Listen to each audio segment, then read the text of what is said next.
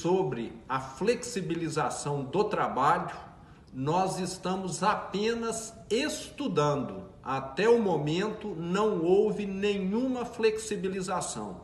Não vamos tomar medidas precipitadas nem sermos submetidos à pressão de alguns grupos que querem uma reabertura, talvez muito antes da hora.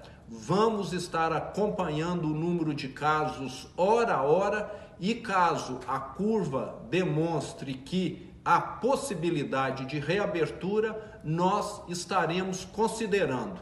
E vamos também analisar o caso de cada situação do estado sabemos que muitos dos casos estão concentrados na região metropolitana e que muitas cidades pequenas, com uma realidade totalmente distinta, não tem caso algum.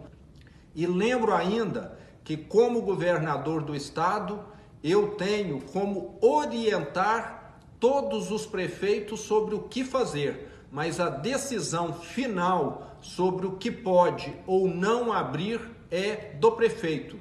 É a prefeitura que pode dar ou caçar alvarás. Mas a nossa orientação no momento é de que mantenhamos as restrições. Quero lembrar que precisamos sim dar apoio a quem transporta, ao caminhoneiro.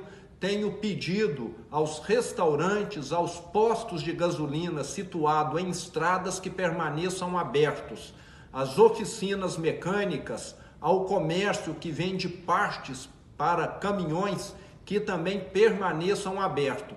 Se o transporte de cargas parar, vai parar o transporte de alimento. E outro setor que eu solicito também que permaneça aberto é aquele que dá suporte à agricultura pecuária.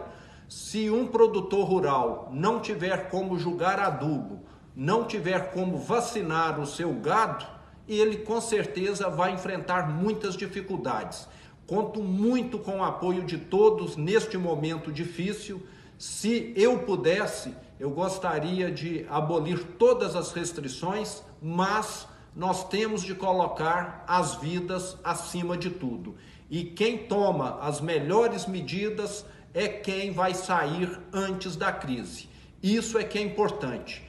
Países que fizeram a lição corretamente, como Minas está fazendo, Fomos um dos primeiros estados a suspender as aulas, a paralisar algumas atividades. São os países ou os estados que vão se sair melhor. Então vamos fazer corretamente, é para o bem de todos. Um abraço.